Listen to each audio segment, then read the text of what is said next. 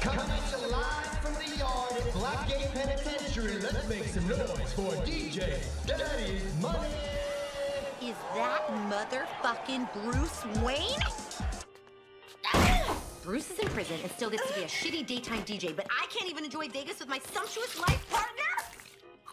I'll tell you why he gets to be a shitty DJ. Think about it. Bruce and Batman are two different people. of course! Superheroes all have secret identities. All my identities are public! If you had an alter ego, you could party with Ivy without getting in trouble with the Bat family. Do you have a breath, Matt? Don't want any of those shrimp tails to get caught in your pretty pink hair. All right, are we doing this? I've always wanted to party in Vegas. So many people to analyze. Oh, no, you're not coming out four eyes. This is a job for...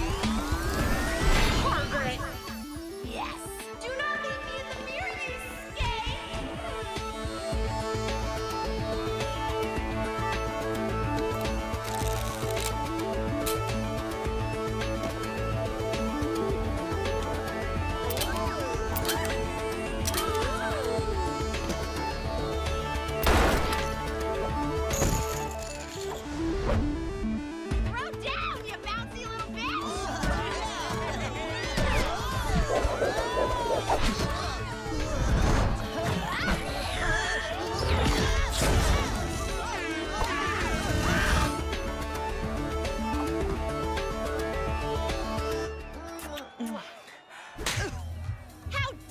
cheat on me? It's me, Harley Quinn. Yeah, sweetie, I know. You're wearing my bra. This is just my natural perk, baby. So I love this whole vibe, but are you gonna get in trouble with the Bat family for like everything that you're doing right now? Harley might, but Hargret will not. Okay, I like the sound of that.